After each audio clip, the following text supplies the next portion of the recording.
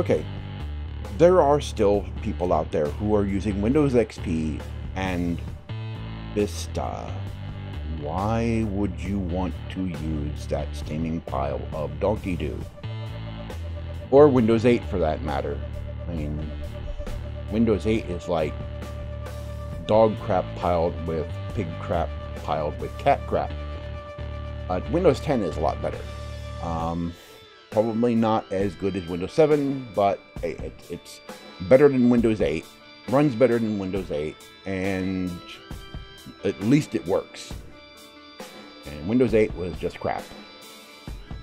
But there are people who still run Windows XP and still run Windows Vista, and some of them do it because they don't want to buy a new computer.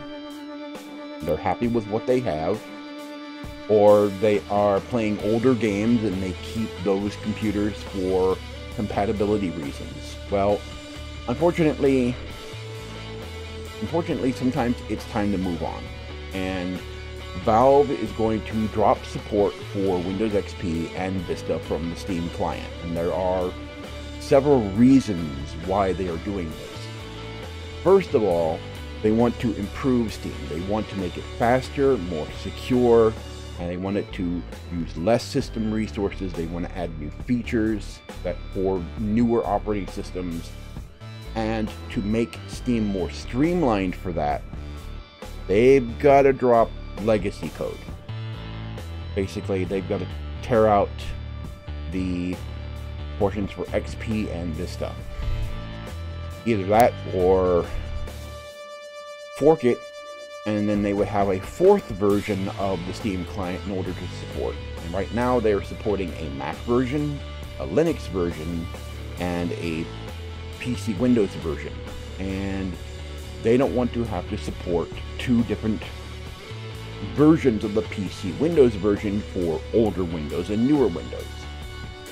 The other reason is because those older versions of Windows are no longer supported by Microsoft. They're no longer getting security updates.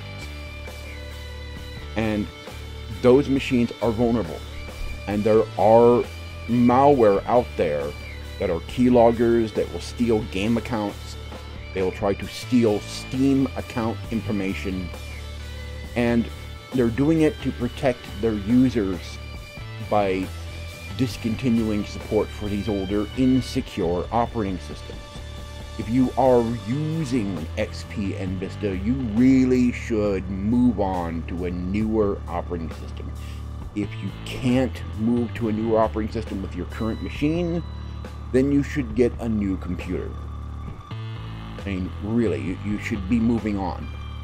And it, I know that, you know, sometimes getting a new machine can be expensive. I mean, that machine in there we're building for the new set, well, that thing's getting close to $6,000, and that was money that we barely had. That was after, that was after Tigra and Dave saved up months to uh, to be able to get it because that's more than that that machine's going to be for more than just my use for streaming and everything that's going to be our our media server in there. So it was for all of us to use.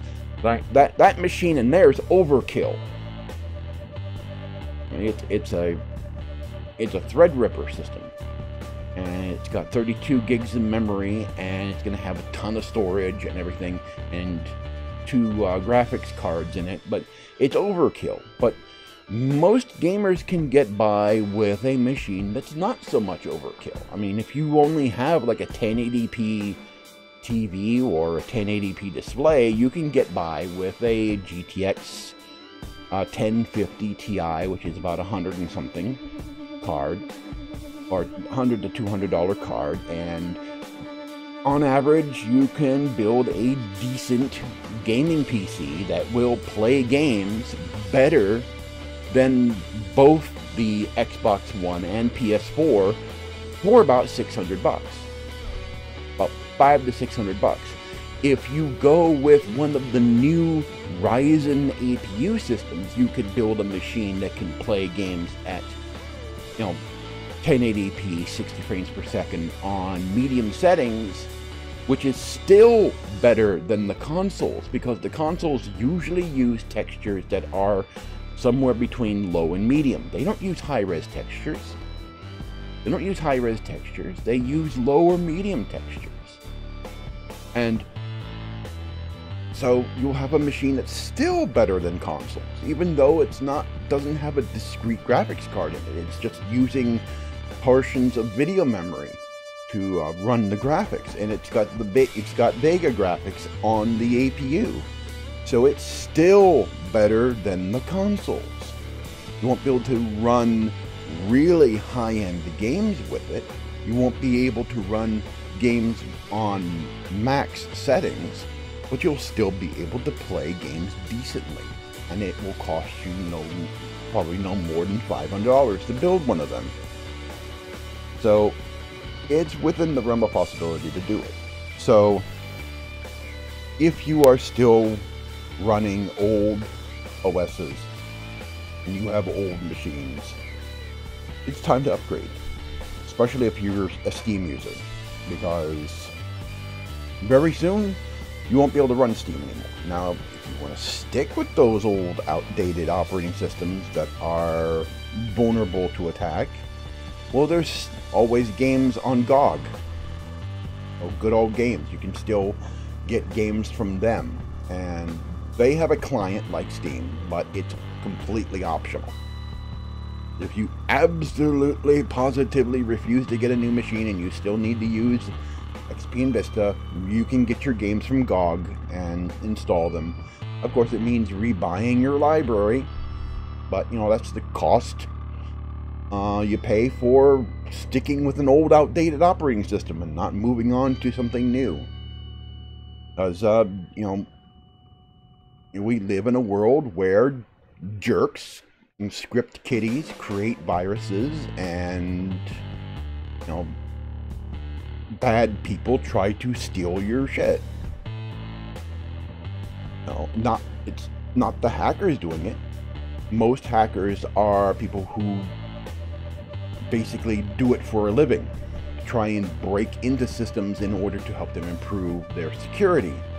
Or they are just fiddling around with stuff as a hobby the people that are the problem are crackers and script kiddies. They're the ones that are creating all this malware and all these viruses. Hacker is a word in the media that is way overused and abused and is given too much of a negative connotation when in truth, it's not. So, again, if you want to uh, if you want to keep Steam, upgrade. Come on. It's it's time to move on. It's time to put that old machine to rest. Move on to a new system. Move on to a new operating system. And you'll be able to run you know the modern games a lot better. And a lot of a lot of game developers want to stop supporting XP. Some of them still support it because there's still people who play games on XP, but a lot of them want to drop support for it because they want to move on to bigger and better things. And I don't blame them. So, I've been Mike. Thanks for watching.